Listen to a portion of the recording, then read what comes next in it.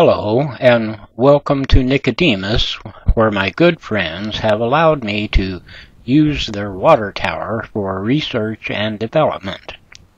We are here today to demonstrate an invention we call the Safety Cat. The Safety Cat is a machine that, when you see it and understand what it is good for, you will want to ask, why didn't we have this a long time ago? Much of the answer is that this technology did not exist a long time ago.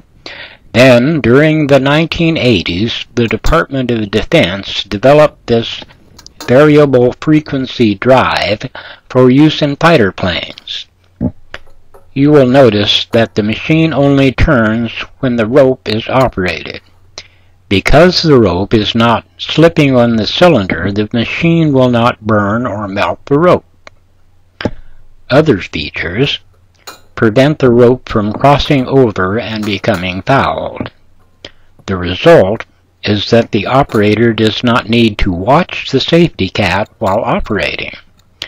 The rope is routed through a snatch block and the operator is a few feet away. The operator's hands and clothing are now removed from danger of being caught in the mechanism. He will also be better able to watch the load. Pulling faster on the rope causes the machine to pull faster. When you slow down, the machine responds to your speed. Then, if you were to release the rope, the machine stops and holds the current position. To resume racing, you only need to resume pulling. It was decided that the operator should have to do something deliberate and intentional to reverse direction, or to operate switches and to step on a pedal. Lowering is essentially the opposite of raising, and the machine responds to your speed. Then, when you stop the rope, the machine stops.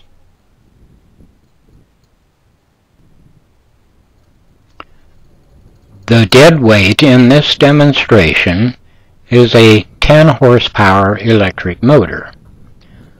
Note that the operator is not looking back and forth while raising the load. The safety cat is also very quiet, which further increases operator awareness. The safety cat does not make it difficult for the operator to be safe. The safety cat helps the operator to be safe and does not have the nasty habits of traditional cat heads.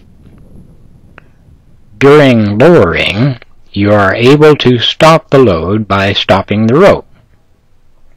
If the rope is released while the down pedal is pressed, the load will go down but will not free fall.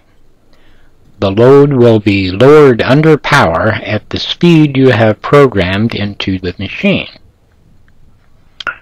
Other designs of Cathead try to deal with safety by going very slow because we have safety features that do not rely on operator reflexes, we are able to add horsepower so you can get more work done. I'll leave it to you to do the math for how long the safety cat will take to pay for itself in your operation. In this demonstration, I am not wearing gloves. It is so easy to stop the load with one hand gloves would have been just a bother. Sometimes you will want to release the down pedal to stop the load. This will activate the mechanical brake and, like a parking brake, will need to be released before you can resume operation. A possible scenario is that someone on the tower has dropped something and has hollered headache.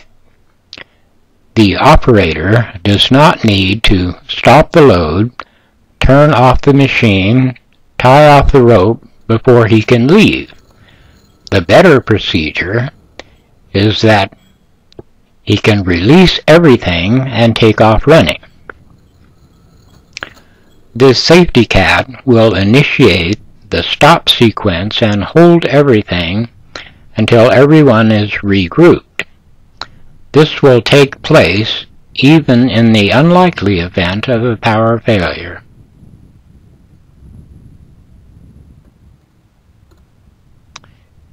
The motor speed controller is programmable and only takes a few seconds.